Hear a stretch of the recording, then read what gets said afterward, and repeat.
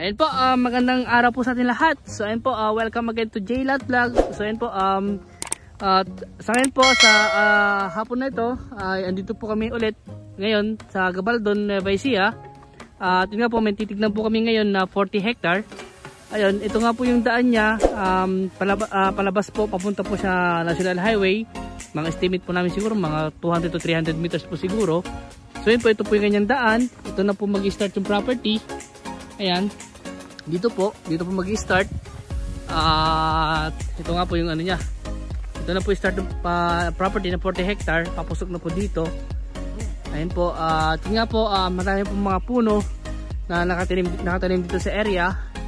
Ayan, ay iba-ibang puno. May mga niyog, may mga mangga, saging, lansones, rambutan, at mga iba, iba pang mga puno na nakatanim dito.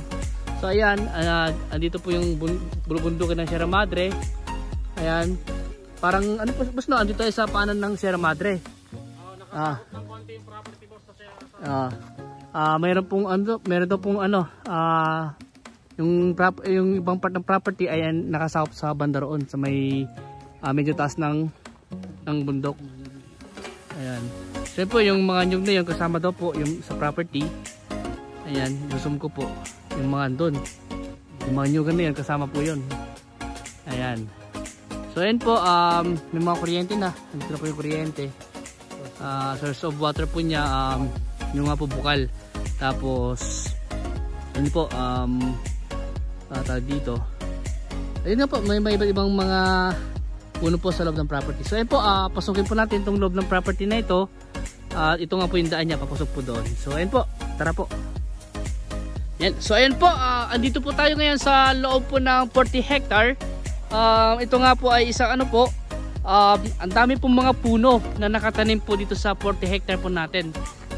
Ayan po, um, ang sabi po nila, yun nga po, uh, ang sabi po nila, uh, yung mangga daw po niya ay libo, libo daw po yung ano, bilang. Hindi nila ma, ano, yung tinakabilang talaga.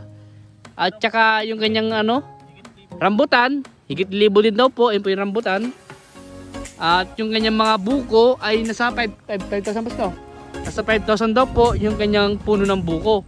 At meron din po nakatanim dito na durian. Ayan po. Durian. Ayan po. May mga saging din po, libo din daw po. Uh, madami po kasi talaga, madami po mga puno na nakatanim dito na pwede yung pakinabangan. Ayun nga po, meron po silang mga alagang uh, hayop dito. Yun nga po. Uh, yun nga po, uh, sabi ko nga po sa inyo, ang presyo po ng property na ito ay tawag po dito. Um, may presyo po siya na 400 per square meter. Yun nga po. 400 per square meter po siya. At uh, kausapin nyo na lang po si seller. Pag-usapan nyo na lang po uh, kung ano yung mga sasagutin. Ayan. Uh, yun nga po.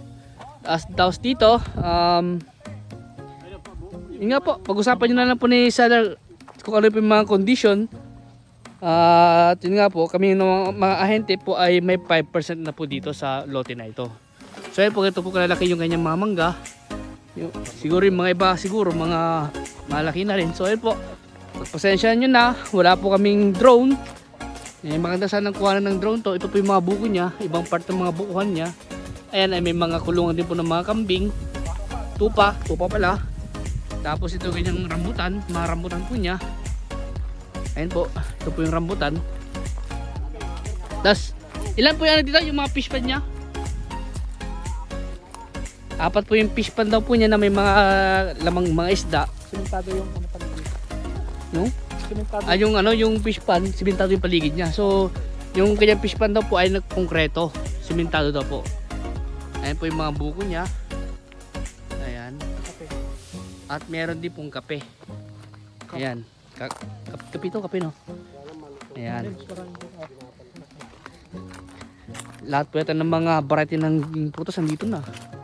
Ayan po yung kape. At hindi ko lang ano pa ang prutas na yan. Ayan po, rambutan. Hindi ko yan.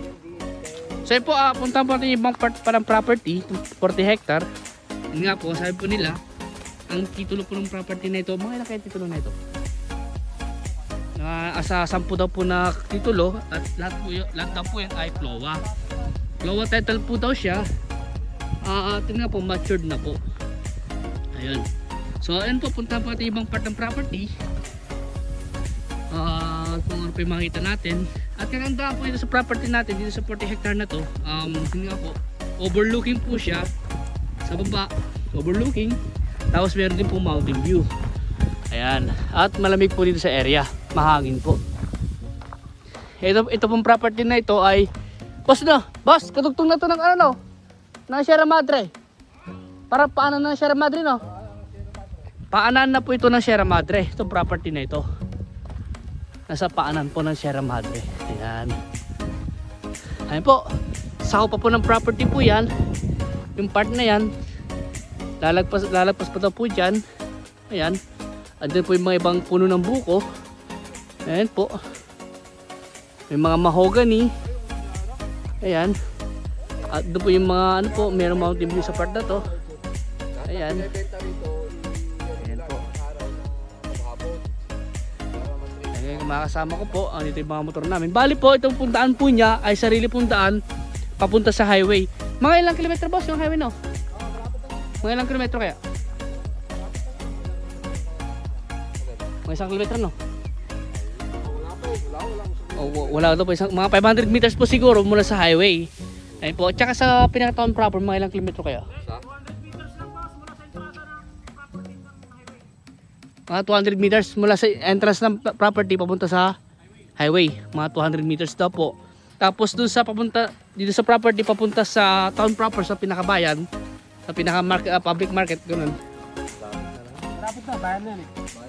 Mga may isang kilometro, dalawang kilometro kaya ganun. Oo. Oo. Ah, sa Maynila naman, siguro estimate namin mga apat na oras bambiyahe siguro no. Wala pa. Mga tatlo, apat ganun. So ito may bahay po dito. Bahay po ng caretaker no. Ah, may bahay, bahay po to ng caretaker siguro to. May solar na po siya dito. At may kuryente na to no. May kuryente na po dito. Ayan, titirhan nyo na lang po. At kasama sa bentahan po yan. Ayan po. At meron din pong ah, rest house dito. Meron cottage pala. Ayan, may tubig po dito. Ayan, malakas yung tubig. Hindi yan nawasin po, no? Galing sa bundok yan. Ako, galing bundok lang. Ah, galing, yung tubig po niya ay galing daw po sa bundok. Talagang natural. Ayun po, meron siya, ano dito, ah, cottage to, rest house, floating cottage to. O, floating cottage. Ayan, may mga alaga po silang ano, isda po dito. Ayan, hindi ko alam kung ano pangalan ng damo na to. Napier, na, napier yata yan. Ay, hindi, pandan. Hindi? O, na, naamoy ko ano niya, oh. Parang may, ay, pala pandan. Nasa tabi pa. Ayan, may, may pandan dito. Ayun po. Ah, uh, continue yung flowing ng tubig. Ah, diretso daw po yung ano niya. O, hindi po na tumitigil yung flowing po ng tubig. O, ibig sabihin, running water siya. Ah, only water. Running water po. May kuryente na rin yan. Ah, ito po yung kuryente po ng property. Ayan.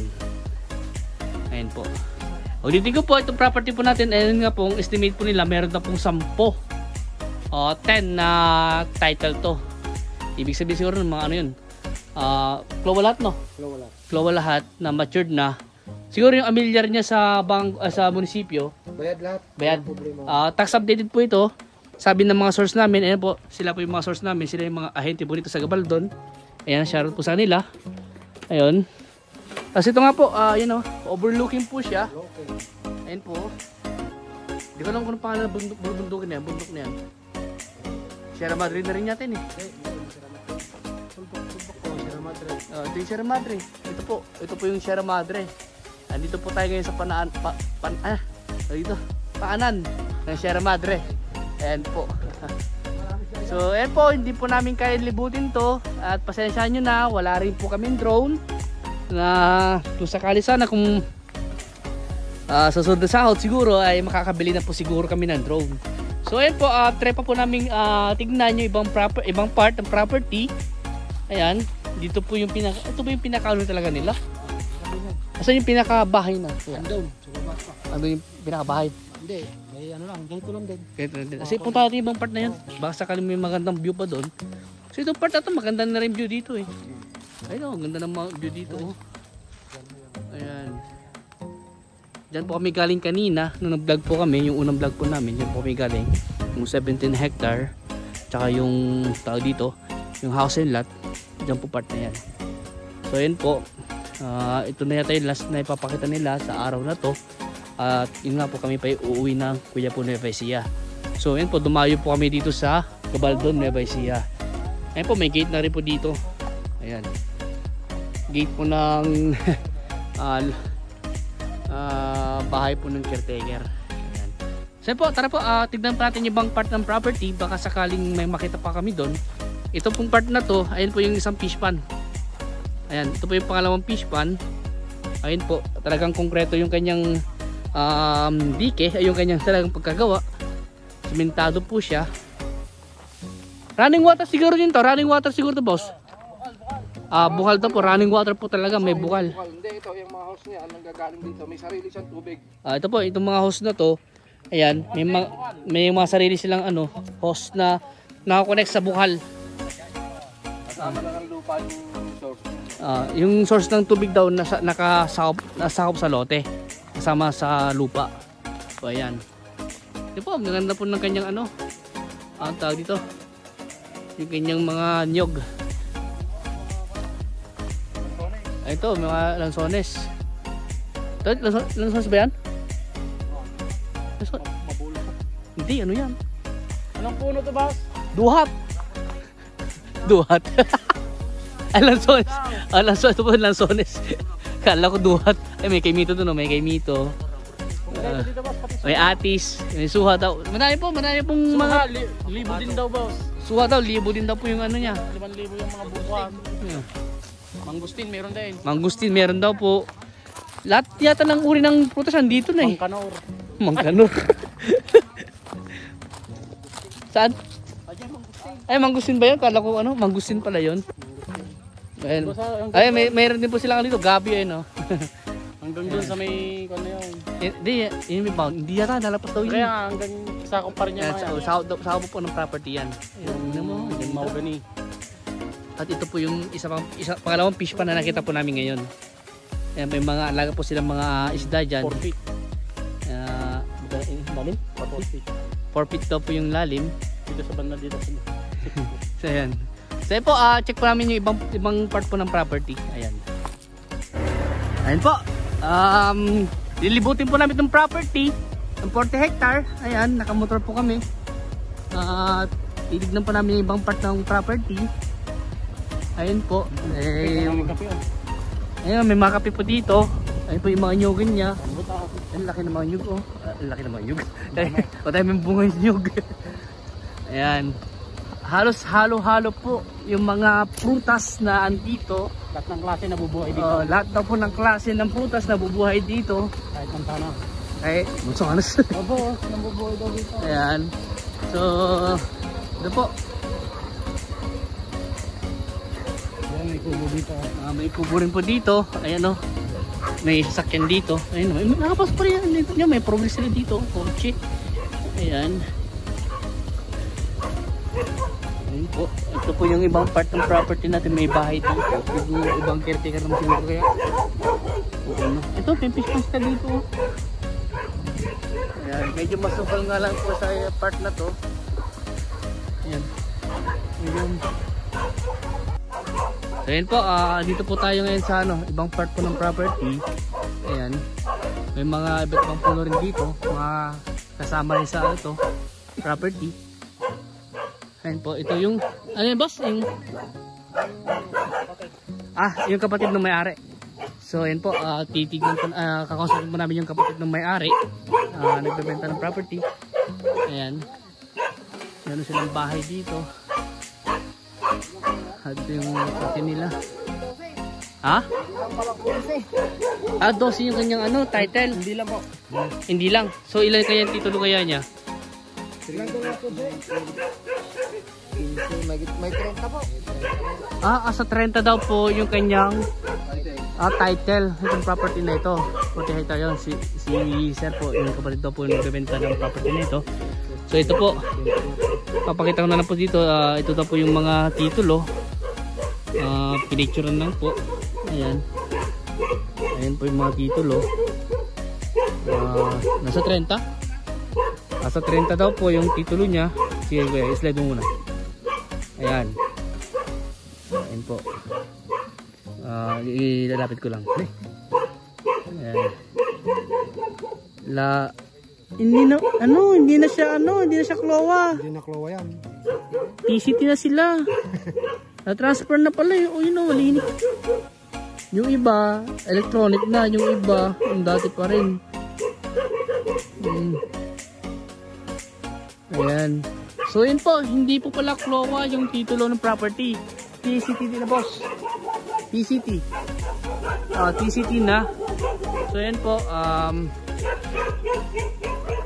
kaya po, kapatid po ng may-ari nagbebenta. Ah, kapatid ng may-ari. So yan po, um, ah, palabas na po kami. Palabas na ba tayo? Palabas na tayo? Ay, sorry. Titignan pa po namin yung ibang part ng property bago po kami lumabas. Ayun, ah, Ayan po, ah, palabas na po kami.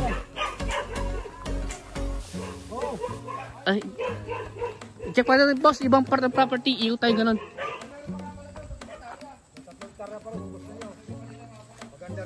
Saan boss? Ah, okay. Sige, ito muna tingnan, tingnan natin muna to.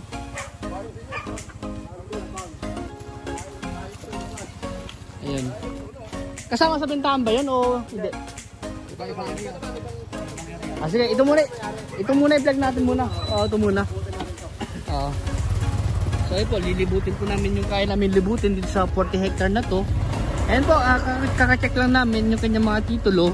Ah, upon checking po, ang mga titulo po niya ay hindi na po CLOA. Hindi na po awarded by the government. Siguro po nung nag-purchase nila itong property na ito ay CLOA pa siguro. Tapos transfer na lang po nila sa pangalan nila na PCT title na po siya. Torrens title na po. Ayan, ito po yung mga ibang part po ng ano. Ayan. Kasama po yan. Dahil buko. Ayan na po yung ano, Sierra Madre. Ayan. 5,000 na buko, tsaka libo-libo rin po ng mga iba't ibang uri ng fruit bearing. Ayan. May rambutan, may saging, may mangga, lansones, ano yun? Durian, tapos Kape. kape, ano pa yung mga doon, mangustin. Ayan, eh, Ano? kamang kanor. so yan po, ah ito ito nga po yung property po natin, ah palibot yata yung daan niya. Ayan, may mga ginawa silang daan na Exit entrance. ent exit entrance at papunta rin po sa mga ibang part ng property. Ayan. So yan po. Ayan, ang daming ano oh. May kalamansi din pala. Ah, may kalamansi din. Ayan. ibang portion ng kanya may mga... Basta iba't ibang portion ng property, may mga kanin talaga ng mga prutas. Ito, may mga saging dito. Ayan, may mulberry. Nakapalibot ng mulberry dito naman po. Mm. Ayun naman. Ayun po. Ito lang, ito lang. Ah, ito lang, ito yung property. Ito yung balik na tayo. Ah, so ganito lang. Oh.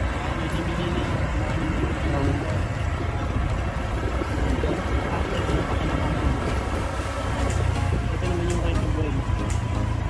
yung magutot po sana.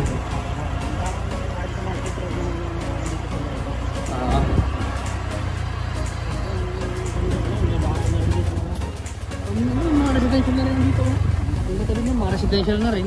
So ito lang yung, ito na yung boundary ng 40 hectare. Ah, ito na po yung para boundary ng 40 hectare. May mga boundary po dito. Nakikita mo yung... yung- Ayan. nyog, mga nyog. Ito po, ito po yung uh, hangganan po ng mga nyug nila. Ayan. Ito po yung mga nyug na nakatiling sa 40 hectare. Yun nga, sabi ko nila 5,000 daw po na doon. More or less yun. O ba hindi lang, mas mataas pa doon. Eh, walang numbering eh. Ayun, sayang. Sabi ni Zero. Estimate daw po yung 5,000 pero patataas daw po doon. Ayan. Maganda oh. Dito lang boss, ang ganda ng area nito. Oh, yun, maganda. Puro buko dito. Dito sa part na to, puro buko. Oo. Doon sa part naman na yun, iba-iba yung mga puno na nakatanim. Galing ah. Galing mo nakapili dito. Galing na may ari. Galing, ng... May ari ng stone. Ah, siya may ari na ano. Hmm. So, ayun. Ayun, may fish pan din po dito. Ay, kasama to? At, hindi na kasama? Ay, kasama? Ah, ito, kasama daw po sa 40 hectare pa to. Ah.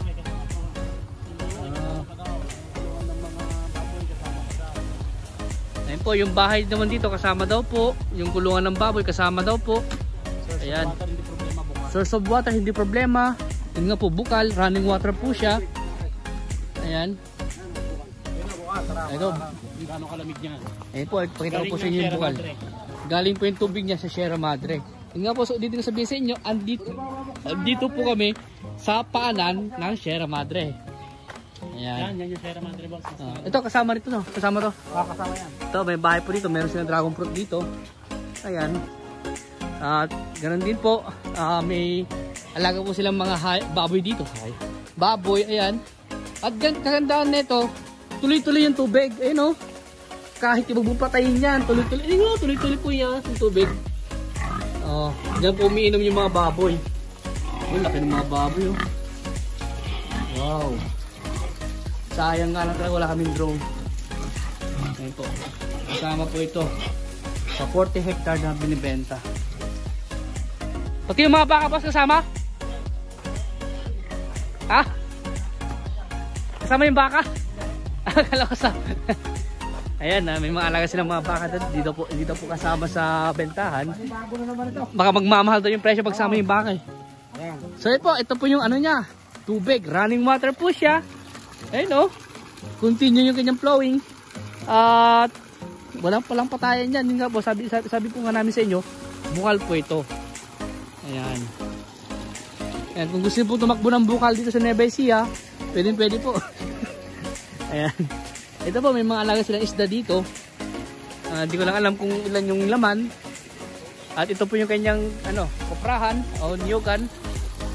Ayan po. Ayan po. Sobrang ganda po ng property nito. 40 hectare po yung kanyang size na luwang. Ayan. The boss. Ayan o. Ah, ito yung ano niya. Ito yung ano, al anuhan ng ano, baka. Kulungan ng baka. Kambing. Ayun may mga... Ganun din sa kabila. May mga kulungan din ng mga kambing doon. Ayun po. Talagang gusto sana namin libutin tong 40 hectare na to kaya hindi po namin kaya. Maganda sana po talaga sana kung may drone. Ayun. So po, ipapalipot ko na lang po yung camera para makita nyo po kung gaano kaganda itong 40 hectare po na ito na yun nga po sabi po namin may mga iba't ibang puno na nakatanim Ah, at yung mga karamihan nga po nakatanim dito ay puko. Niyog, ayan. Ah, po.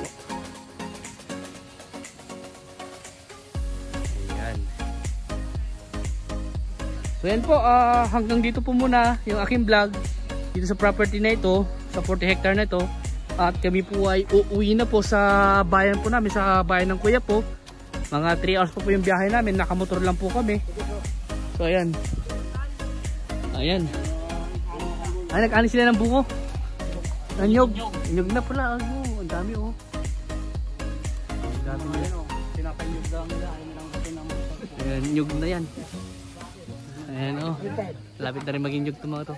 So yan po, hanggang dito po muna aking vlog sa property na ito. Ah, At yun po, salamat po sa mga suporta nyo sa akin, sa aking vlog. At ganoon din po, eh, sana um, pakishare na rin po, share, like, and pa-subscribe na rin po. Pa-hit na rin po yung notification bell para ma-update po kayo sa mga listing namin about sa mga lot for sale. So, ayun na nga po, pauwi na po kami ah, sa bahay mas kuya po.